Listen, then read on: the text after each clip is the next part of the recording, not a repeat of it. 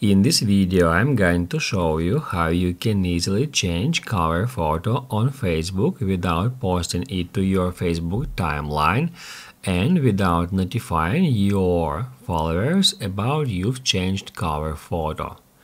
Let's get started guys and first off open up Facebook app. After that tap right here at your profile picture to head over to your Facebook profile page. As you can see, I have a cover photo here and if we want to change it, we can easily do so.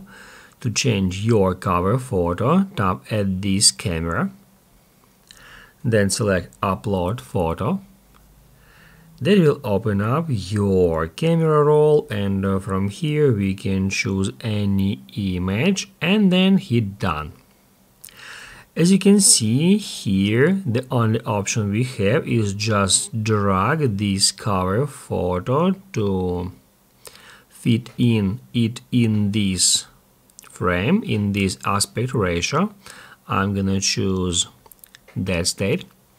However, we have no options here about uh, don't informing or don't sharing the info that we've changed cover photo with our followers.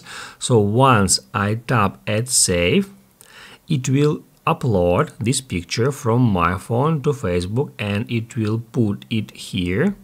I'm going to refresh it. As you can see, the cover photo is already changed and uh, unfortunately it always at the same time, share this information to our Facebook timeline.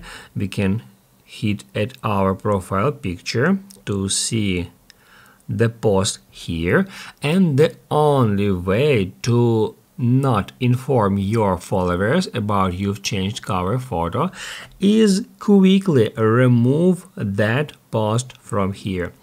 To do that, tap at three dots and then select Hide from Profile. Down below says that this post may still appear in other places, however, we've not shared it in other places. I'm just going to tap at Hide from Profile.